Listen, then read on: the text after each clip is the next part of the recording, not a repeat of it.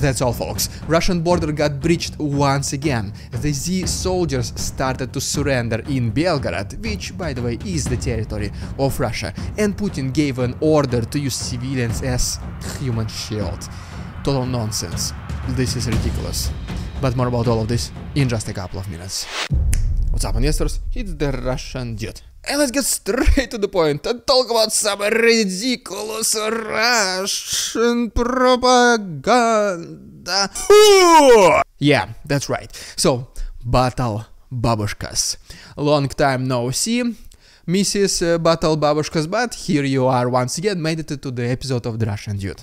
And today, one of them before the presidential elections of Putin, I mean presidential elections in Russia, well, it's pretty much the same thing. She did a tattoo with her favorite person in the entire world. And no, this is not her kids, these are not her grandchildren, this is the Vladimir Putin, who probably does not even know about her existence, unless these battle babushkas are his personal project. And just guys, I have to make a disclaimer, the next uh, several seconds are going to be pretty erotic, because Battle Babushka is gonna show exactly the place where this tattoo is located. It is on her chest, so you have been warned if you don't want to see it. Close your eyes for a couple of seconds, but for the ones who are brave enough, well, here you go. And speaking about Putin and his own elections, uh, this is also something worthy of ridiculous Russian propaganda. He recently made a statement or a speech to the people of Russia saying that Please everyone, you should vote, the future depends on you, because all the power in Russia is towards people. You people are the ones who decide how Russia is going to develop in the near future. I mean, yeah, that's what he said. And guys, so right now it's a secret. Uh, today is my wife's birthday and I wanted to tell you that this whole merch thing, this is her, entirely her project. I only do some designs from time to time, but the merch itself, the website, it is her own project. It is her birthday, so let's make a surprise for her. Guys, uh, please go ahead and check if there's anything you like. I'm not forcing you to order anything, just yeah, go ahead to see if you like something. But she'll be very, very happy to see those orders coming in whenever she's gonna wake up tomorrow. So yeah, and by the way, if you are a Patreon, don't forget you do have a permanent discount. Just go ahead and check uh, the discount code on the Patreon under any of the posts. So yeah, thank you guys so much once again. She'll be very happy. And now let's continue. Oh, and by the way, also forgot, she also does have a merch dedicated Instagram page, TR Dude Store. So yeah, you can go ahead and follow it as well. Thank you so much. Alright, now back to speaking in full voice. And let me give you a very quick update, just one little interesting thing that appeared in the south, then I'm gonna talk about the situation in the east, and then finally, once again, Russian borders being breached. And so yeah, this interesting thing from the south, if you remember, there is this Dzhankoi airfield located on Crimean Peninsula. So long story short, Russians brought couple more planes to this airfield, which as you can see from this satellite, they were not present previously, which basically means once again they brought new planes, fighter jets, bombers and so on. But Another interesting thing is that if you look really closely, you can see that some of these planes are actual just uh, drawings. so yeah, Russians did not just bring military planes, they also brought, brought some uh, Picassos, Da Vinci's, I guess, and things like this to try and bamboozle Ukrainians, but you can never bamboozle a satellite image. And so yes, this was pretty much the only thing from the south. Now let's go to the east, and first we stop near Kharkov front line, where a Ukrainian one single FPV drone was able to destroy the entire military warehouse of Russians. This is uh, very significant, I mean just one drone except against the entire construction. Next uh, we got closer to Liman frontline where we can see Russians absolutely not wasting any single minute and they're trying to demine the fields in front of them but they're not using the conventional methods of demining them. Instead, they just literally bring a couple of their infantry fighting vehicles, they drive across the open field and uh, well, that's how they find the mines. Besides that, as we get closer to Bakhmut frontline, Ukrainians were able to destroy at least two armored vehicles of Russians next to Yahidne, and then they were able to repel pretty big three assaults against Chasiv Yar and Klishivka located right here. But wait, it's not over yet, because also reportedly a pretty big concentration of Russian forces have been destroyed far behind the front lines in Lugansk region, approximately in this area. And just like in the past, Russians were simply standing in the middle of the open field, they were doing some military exercises, learning how to march, things like this. And well, as a result, reportedly there are at least 10 eliminated Z soldiers. And ultimately is the video from Avdiivka, where once again Russians try to breach the front lines and try to expand their controlled areas, and so they send an assault group along with a couple of armored vehicles. Well, Ukrainians were like, okay, guys, like uh, this is getting ridiculous. We already know what to do, so uh, let's uh, let's do it. So they took uh, their one of their Bradley's infantry fighting vehicles along with some uh, infantry, and they met those Russians with fire. Just one Bradley was able to successfully and so easily repel the entire assault. By Russians, these two armored vehicles were fully destroyed. The infantry started to run away. Not that many of them were able to do it before falling asleep forever.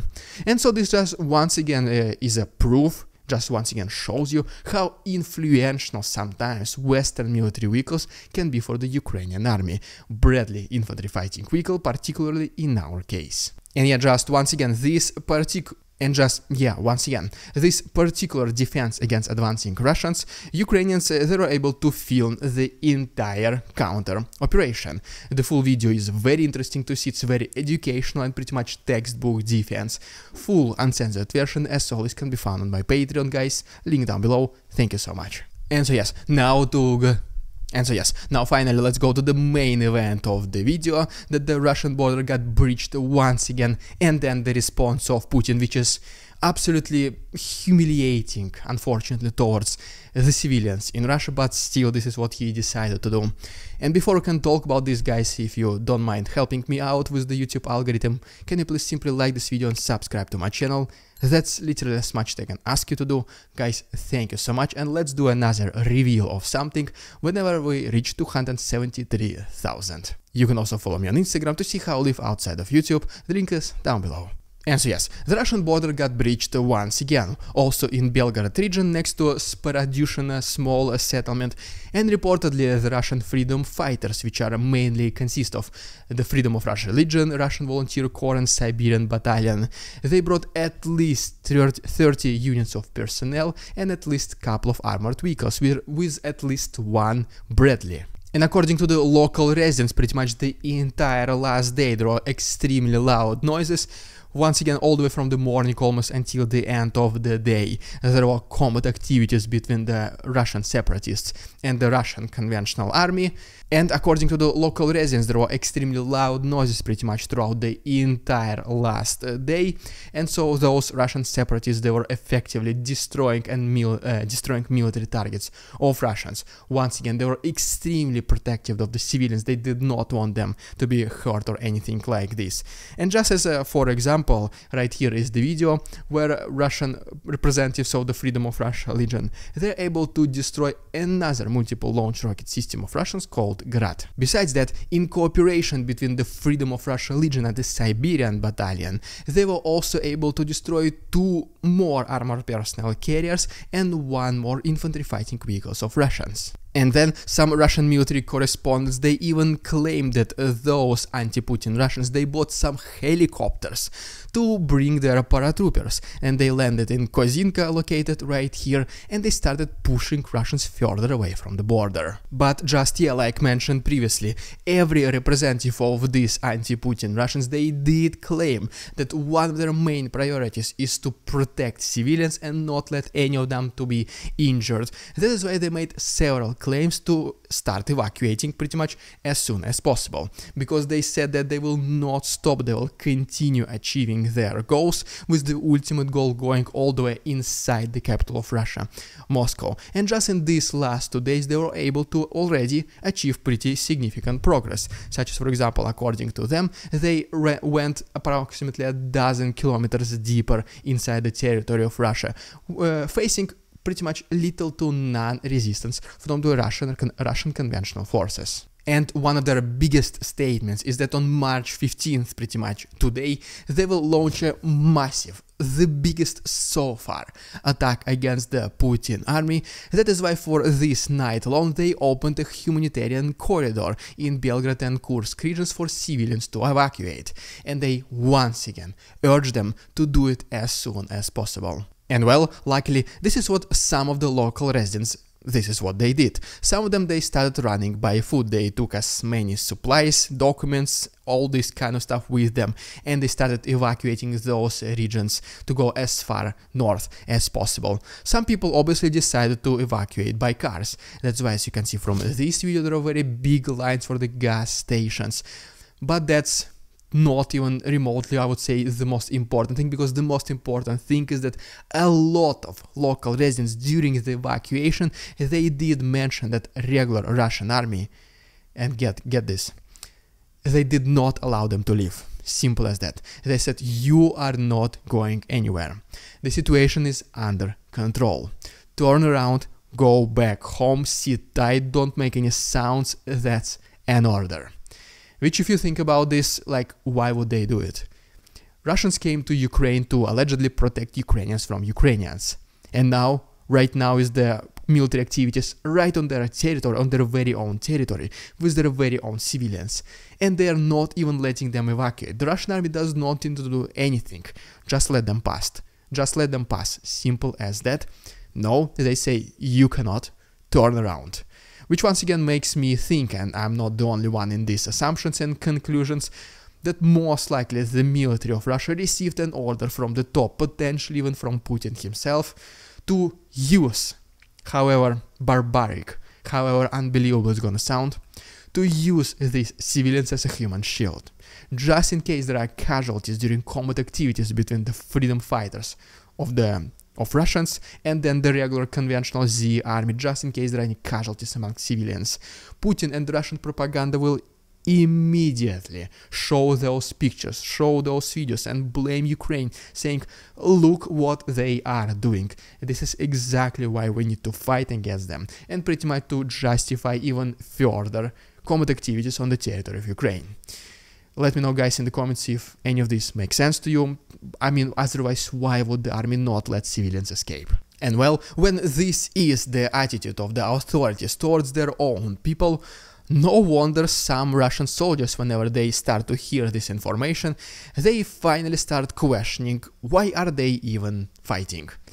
Are they fighting for this regime or are they fighting for their families? Because if they do fight for their families, as soon as their own relatives and friends become endangered, there is nothing what the authorities are doing to protect them. And in the meantime, those people, those soldiers are risking their lives to literally just protect the Putin's regime. Simple as that. And for this reason, right here is the video, and this is an undeniable fact. No matter what the Russian propaganda will tell you, this is the video right here, we can see it with our own eyes, that some of the Russian soldiers inside Belgorod are currently surrendering, they are waving their white flags, they are following those freedom fighters, and they say that, guys, we are not gonna fight you, be careful, proceed with care, like, we're not gonna stop you, just don't kill us, like simple as that.